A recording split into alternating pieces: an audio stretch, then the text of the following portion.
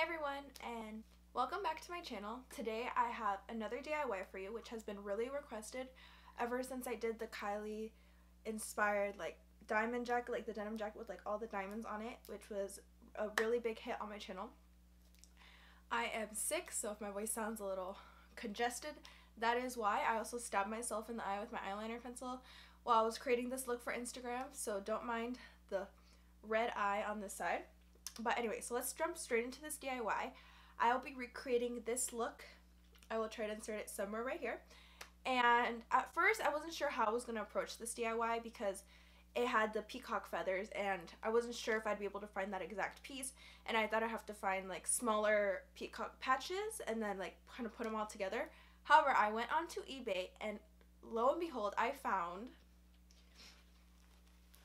these two patches which are the exact patches that were used on this item, which is crazy.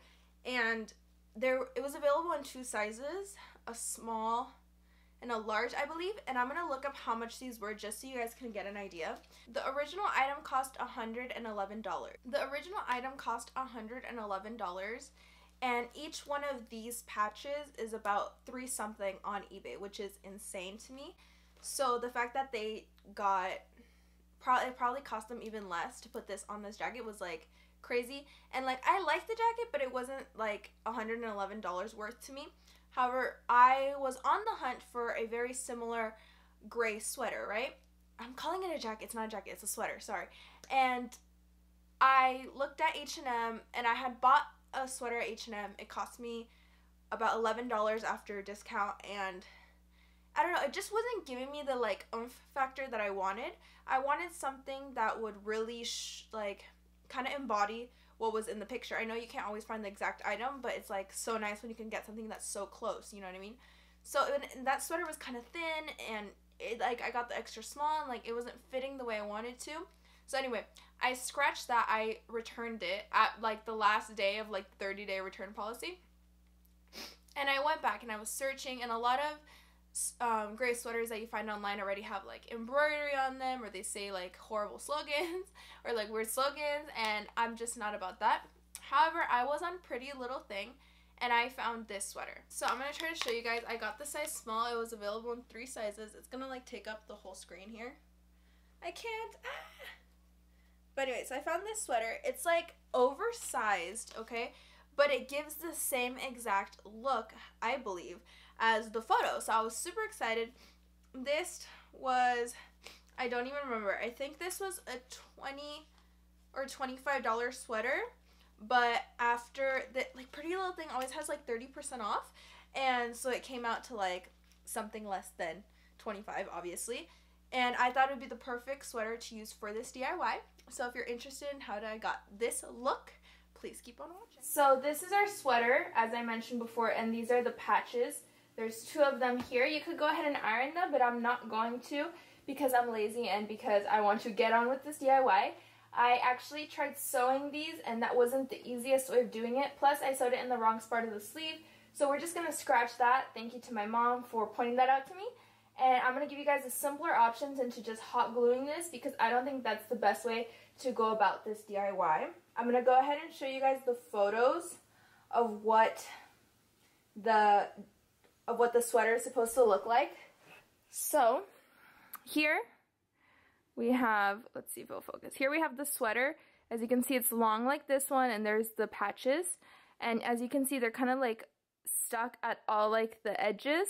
This is how it's supposed to be. So we want to put the patch right here on this part of the sweater. We want to put the patch on this part of the sweater where there's like the top crease and then this fold. This is where that centerpiece is to go for this. So, how are we to do this? My mom told me that I should try these. And let me kind of show you the piece of parchment here. It's called Badge Magic. So you basically cut out pieces of this. You stick it onto what you want to stick, onto what you want to stick. So basically I would stick a piece of this onto the peacock um, patches and then stick that onto the sweater and then you actually put it in the dryer and that kind of like melts it together. So let me show you one important thing about this. I haven't even really read the directions. on the patch, you don't really want to put these pieces of the parchment thing or the sticky stuff right close to the edge because then it'll kind of like melt in the dryer and kind of go over. So we're going to put them in like the inside pieces of this. So let's see if we can do that. So here I just have some scissors from Poppin and this is what we're going to use to cut the pieces of sticky paper. So I think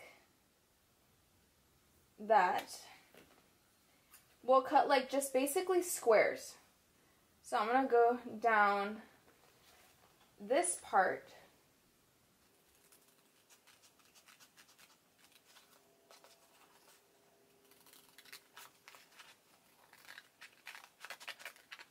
So I just cut a strip of that sticky stuff. There's like a way to peel it here on the back. And I'm just going to go ahead and cut it further into little squares.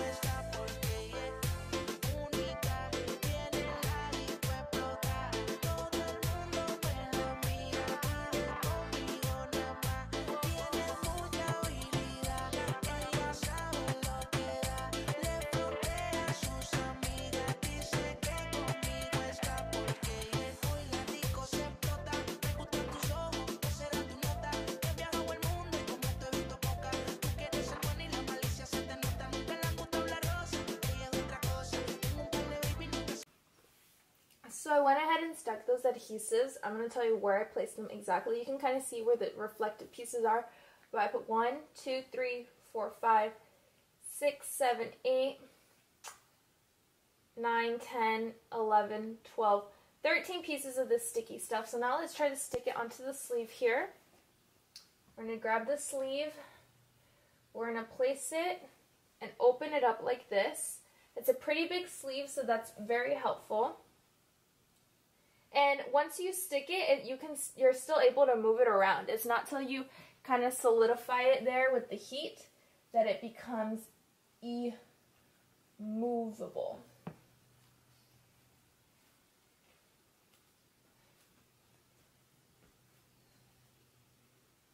So there it is stuck on. I'm going to go ahead and repeat the process to this other sleeve and then I will be right back so we can go ahead and get on to the drying portion of all this. Okay, so if this was a smaller patch, I could take a hair dryer and just kind of like go over the area for five minutes. But because they're such large pieces, I'm going to take the sweater and put it in the dryer for five minutes so that it heats up and melts into the sweater. And then we will press it into the sweater like super hard so I'm going to go do that. I think I'm going to put it on no tumble if that's an option because I don't want it to like move around too much. So I will see you when I get back. So my sweater is fresh out of the dryer. I wasn't able to put it on like non-tumble dry. So I'm just going to go ahead and press that in. I did it for five minutes on high temperature. So press, press, press, press, press, press. Same thing with the other sleeve.